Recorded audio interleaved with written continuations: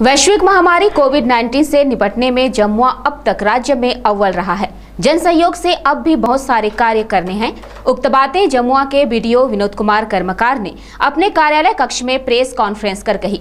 बताया कि जमुआ में अब तक 14,600 प्रवासी मजदूर आ चुके हैं जिनका डेटाबेस तैयार किया जा रहा है ताकि उन्हें रोज़गार से जोड़ा जा सके। कहा डोबा टीसीबी, मेड़बंदी आदि निर्माण के साथ साथ पुराने नाले की सफ़ाई एवं बागवानी निर्माण कार्य को प्राथमिकता दी जा रही है। कहा कि हर पंचायत में 250 मजदूरों को काम दिया जाना है।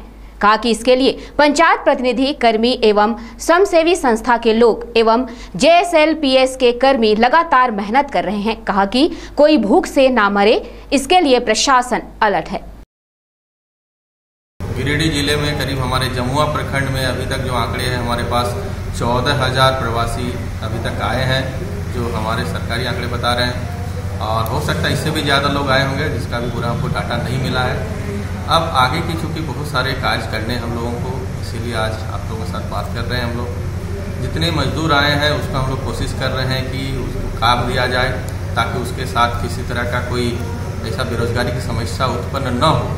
इसको लेकर के सरकार का निर्देश है कि सभी लोगों को कम से कम मनरेगा में अभी तत्काल कार्य दिया जाए और लोगों का डाटाबेस तैयार किया जा रहा है। उसके डाटाबेस के आधार पर भी लोगों को कार्य दिए जाएँगे। और मनरेगा में हम लोगों ने अभी सभी मुखिया लोगों को, पंचायत सचिव को निर्देश दिया गया है कि प्रत्येक पंचायत में कम से कम 250 से अधिक मजदूरों को काम दिया जाए ताकि लोग बेरोजगार नहीं रहे, उनके पास आर्थिक समस्याएँ उत्पन्न न हो। साथ ही ये भी हमारे माननीय मुख्यमंत्री के द्वारा निर्देश प्राप्त है कि किसी भी व्यक्ति का भूख से मन न हो, इसको लेकर के भी हम लोग सभी मुखिया पंचायत सचिव को निर्देश दिया है कि सभी, खास करके वैसे लोगों पर विशेष निगरानी रखा जाए। या तो जो अकेले रह रहा हो, या वृद्ध हो, विकलांग हो, वैसे परिवारों पर निगरानी रखी जाए ताकि किसी अनहोनी से जमुआ प्रखंड में न हो।